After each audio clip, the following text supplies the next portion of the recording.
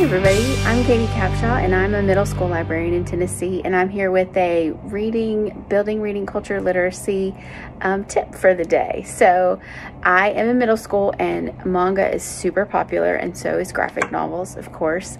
And I have quite a few sets of manga, and I have found, I don't know if you've had the same problem, but they tend to get really messy as you can see right here, falling over and just strange things happening. And they're small and sometimes they're paperbacks, um, which we do cover them, but you know, sometimes it's difficult to keep them wrangled. And so I saw a great idea of somebody using these clear plastic uh, refrigerator containers, yeah, to that you're supposed to put in your refrigerator to organize your refrigerator. I'm sure we all do that.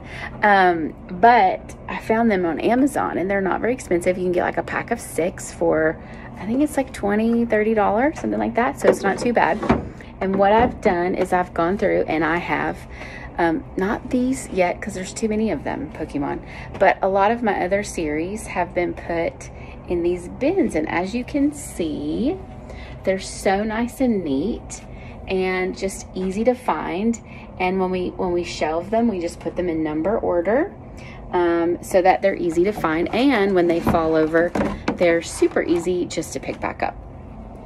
It's a great thing. Now, I haven't had time because, but I want to put a nice label on each bucket. But for now, to save time, I have a handy dandy little label maker and I've just labeled the series right onto the shelf it's not going to last forever. So eventually I'll make some nice labels with the series on there and put them on the container themselves. But I was just trying it out to see how good it would work. My student workers who helped me shelve books absolutely loved it the first day they came in and saw it. So much easier, Miss Capshaw. My students love it. And as you can see, they shop heavily in this section. So we did add a few more to our graphic novel section. Some of our graphic novel series are also in the buckets. They stay empty though, um, as you can see. So it's really just an easy way to help your students find the books they're looking for super fast in the bucket in order um, make it nice and easy and also makes your job easier so that you can have more time to do other things so